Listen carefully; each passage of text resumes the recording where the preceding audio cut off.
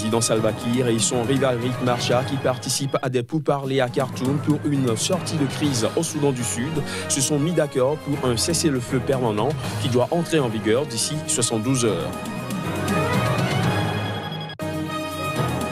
Quelques 10 000 combattants du groupe État islamique et d'Al-Qaïda au Maghreb islamique se trouvent actuellement sur le continent africain, une affirmation du ministre marocain des Affaires étrangères. Au Togo, la liberté d'expression a été restreinte de 2014 à 2017 et la demeure surtout en ce temps de crise que traverse le pays.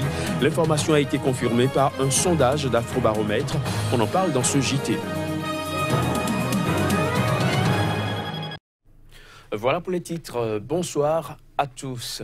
Le président Salva Kiir et son rival Riek Machar, qui participent depuis lundi dernier à un nouveau round de discussion à Khartoum pour une sortie de crise au Soudan du Sud, se sont mis d'accord ce mercredi sur un cessez-le-feu permanent. Un cessez-le-feu qui pourrait entrer en vigueur d'ici 72 heures. Une avancée qui soulève l'espoir d'un accord de paix pouvant mettre un terme à la guerre civile dans le pays. Voici des images. Les deux parties se sont entendues sur un cessez-le-feu permanent qui devrait entrer en vigueur sous 72 heures. L'annonce a été faite par le chef de la diplomatie soudanaise, Aldir Diri Mohamed Ahmed, avant que les deux rivaux ne signent le document en présence du président soudanais Omar El-Béchir. Le président sud-soudanais Salva Kiir et son rival Rick Marchar participent depuis lundi à un nouveau round de discussion à Khartoum dans le but de trouver une issue au conflit qui ravage leur pays depuis 2013. Les deux hommes ont exprimé ces derniers jours leur espoir de parvenir à un accord de paix. Ces pourparlers suivent un sommet des États d'Afrique de l'Est à Addis Abeba qui s'est achevé sans véritable avancée alors que l'ONU a donné jusqu'à fin juin aux belligérants pour arriver à un accord politique viable brandissant une menace de sanctions.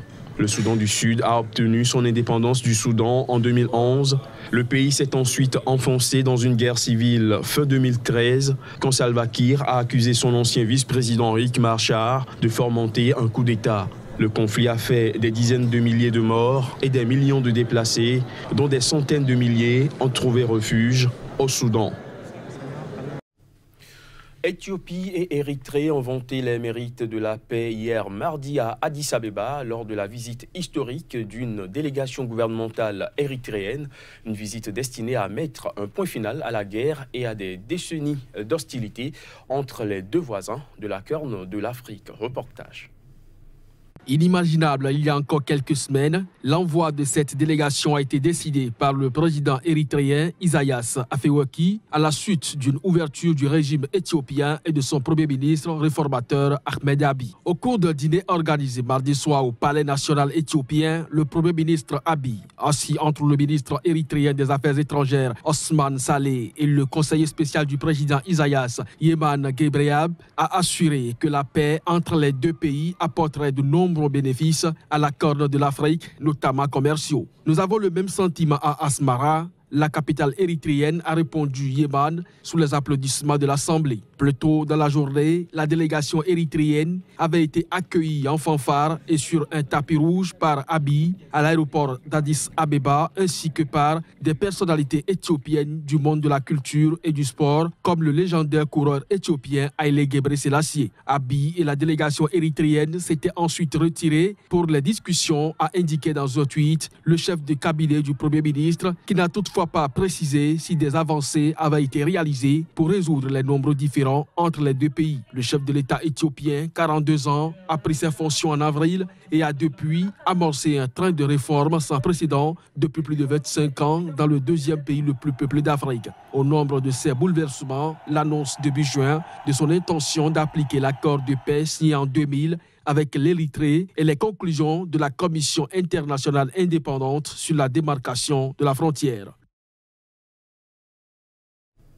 En bref, euh, au Zimbabwe, le chef de l'État Emerson Nangagwa a accusé ce mercredi les partisans de sa rivale et ancienne première dame, Grace Mugabe, d'avoir fomenté l'attentat dont il est sorti indemne le week-end dernier. Il a formulé euh, cette accusation dans un entretien accordé à la BBC, diffusé à un mois des élections générales. Samedi dernier, faut-il le rappeler, deux membres de la sécurité présidentielle ont été tués et des dizaines d'autres personnes blessées, dont les deux vice-présidents du pays dans l'explosion d'un engin non identifié. L'attentat perpétré dans un stade de Bulawayo, fief de l'opposition, n'a pas été euh, revendiqué. Une enquête de l'ONU sur la mort de 12 personnes dans le centre du Mali à la suite d'une patrouille pendant laquelle un militaire malien avait été tué conclut à l'exécution sommaire de 12 civils. L'annonce a été faite hier mardi par la mission des Nations Unies au Mali, euh, MINUSMA. Voici des détails. Ces derniers mois, les annonces par l'armée malienne de la neutralisation de terroristes dans le centre du pays ont souvent été contestées par les organisations de défense des droits de l'homme et par des habitants qui ont dénoncé des exécutions extrajudiciaires. La MINUSMA avait annoncé en mai l'envoi d'une mission spéciale de sa division des droits de l'homme pour enquêter sur les incidents survenus le 19 mai dernier à Boul-Kessi, près du Burkina Faso. L'enquête de la MINUSMA a permis de conclure que le 19 mai, des éléments du bataillon malien de la force conjointe du G5 Sahel ont sommairement et ou arbitrairement exécuté 12 civils au marché de bétail de Boulkessi, affirme la mission de l'ONU dans un communiqué ce mardi. Le rapport a été transmis au gouvernement selon le test, citant le chef de la MINUSMA, Mahmoud Saleh Anadif, qui appelle les autorités maliennes à s'assurer que l'enquête judiciaire en cours puisse s'effectuer dans les meilleurs délais. Le représentant de l'ONU exhorte les troupes maliennes et de la force du G5 Sahel, organisation régionale regroupant le Mali, le Burkina Faso, le Niger, la Mauritanie et le Tchad à conduire leurs opérations militaires conformément au droit international et à protéger la population civile. Peu après les faits, à la suite de la mort d'un militaire malien lors d'une patrouille sur un marché de Boulkessi, l'armée malienne avait d'abord parlé de 12 terroristes neutralisés alors qu'il s'agissait de civils selon des habitants. Elle avait ensuite évoqué dans un communiqué ultérieur le 7 juin dernier la neutralisation de 12 personnes ainsi que des zones d'ombre et l'ouverture d'une enquête du procureur militaire. Quelques 10 000 combattants du groupe État islamique et d'Al-Qaïda au Maghreb islamique ACMI se trouvent actuellement sur le continent africain. C'est du moins ce qu'a affirmé le ministre marocain des Affaires étrangères Nasser Bourita à la suite d'une réunion de la coalition internationale antidjihadiste qui s'est tenue hier mardi. Reportage. En termes d'attentats perpétrés, si on exclut l'Irak, la Syrie et l'Afghanistan, le nombre le plus élevé d'attentats terroristes sont commis sur le continent africain.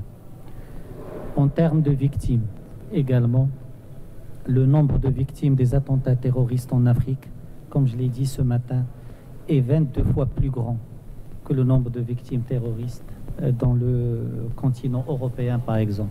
Le ministre marocain des Affaires étrangères a appelé à une synergie entre les pays africains et la coalition internationale dirigée par les États-Unis, dont les directeurs politiques étaient réunis ce mardi à Skirat, près de Rabat. La réunion régionale qui a réuni une cinquantaine de délégations, dont une vingtaine du continent africain, a notamment permis de partager des informations pour lutter en réseau pour protéger les pays, empêcher les combattants terroristes de franchir les frontières, de trouver des financements et de contrer leur idéologie néfaste a pour sa partie Brett McGurk. La réunion a également été très utile euh, par rapport à la, à la dimension africaine. Euh, dans le cadre de l'évolution de la stratégie de Daesh, l'Afrique est parmi les zones les plus ciblées.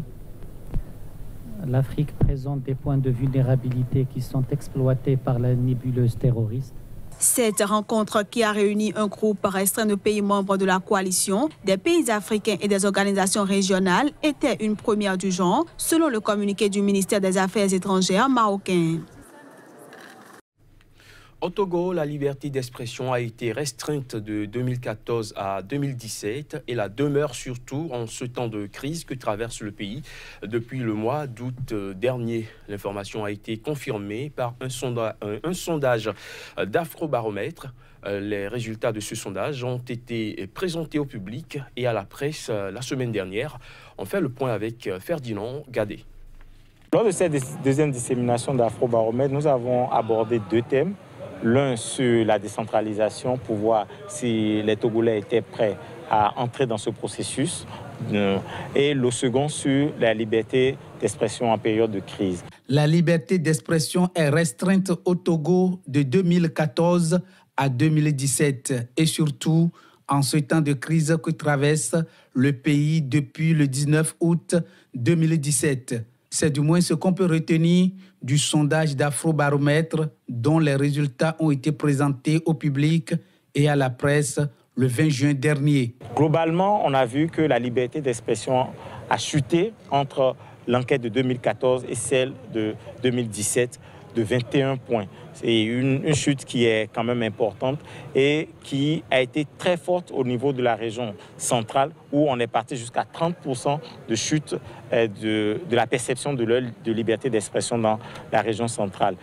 La décentralisation, une expérience de la gouvernance locale à laquelle le Togo se prépare, a fait aussi l'objet d'une enquête d'afrobaromètre. On s'est également posé la question de savoir, mais s'il y a élection et qu'il y a des communes, qui, euh, conseils municipaux, tout ça là, les mairies sont mises en place, est-ce que les gens seront prêts à participer aux réunions pour pouvoir euh, comprendre comment l'argent du contribuable est utilisé ou pouvoir un peu influencer l'action des autorités à la, à la base et on a été agréablement surpris parce que 63, 62% des répondants ou des Togolais disent qu'ils sont prêts à donner une partie de leur temps pour pouvoir faire cette action. Cela dit que le Togolais est prêt pour ce processus. Il faudrait maintenant que les autorités politiques mettent en place le cadre qu'il faut pour que ces populations-là puissent agir. Réalisé par CROP, Center for Research and Opinion Polls, partenaire de l'École africaine d'économie et d'Institut de recherche empirique en économie politique, les enquêtes d'Afrobaromètre se déroulent dans cinq langues usuelles du pays des répondants. Cotonou, la capitale économique du Bénin, a accueilli un colloque international sur les nouvelles tendances de la commande publique en Afrique, organisé par le Centre de droit administratif et de l'administration territoriale de l'Université d'Abomey-Calavi et le Centre de droit public de l'Université de Lomé. Le colloque a réuni pendant 48 heures plusieurs universitaires et experts du monde de la commande publique. On fait le point à travers ce reportage. Universitaires, acteurs du droit administratif, juristes et hommes de droit de l'Union économique et monétaire ouest-africaine ont pendant 48 heures réfléchi à Cotonou sur les nouvelles tendances de la commande publique en Afrique. Cette initiative du Centre de droit administratif et de l'administration territoriale de l'Université d'Abomey-Calavi au Bénin vise à renforcer les capacités des acteurs du marché public. La commande publique euh, euh, c'est d'abord des notions qui nous renvoient à l'intérêt général. Et c'est très important de rassembler des spécialistes de la commande publique pour avoir un regard objectif sur la commande publique, pour montrer que la commande publique est saisie par le droit, mais elle est aussi saisie par la politique. Et donc, l'intérêt de l'étude, c'est de voir là où mettre le curseur pour que le dosage soit fait de façon intelligente que la politique, le dosage politique ne soit pas plus important que le dosage juridique. Vous savez que le droit de la commande publique est un droit en perpétuelle réforme et transformation. C'est pour ça qu'on a choisi le titre de euh, Nouvelle tendance de la commande publique. Vous allez remarquer que dans la plupart des pays africains, il y a une réforme qui concerne la commande publique. Comme on peut le constater, le droit de la commande publique est en mutation dans un espace communautaire lui-même en mutation. Cette double mutation autorise que les universitaires vertueux s'interrogent sur les nouvelles tendances de ce outil, ce incontournable de développement. Bien entendu, cette transformation n'est pas sans incidence sur la théorie des contrats administratifs. Je n'ai aucun doute sur la qualité scientifique de cet aéropage ici réuni à aborder ces différentes questions au double point de la doctrine et de la jurisprudence administrative. L'objectif de ce colloque meublé de panels avec des thèmes divers et variés est d'analyser les véritables apports des dispositions issues des récentes réformes du droit de la commande publique en Afrique. Ce rendez-vous international est censé permettre aux participants d'anticiper et d'améliorer le droit en la matière, particulièrement dans l'espace UOMOA. Fin de ce JT, merci de l'avoir suivi.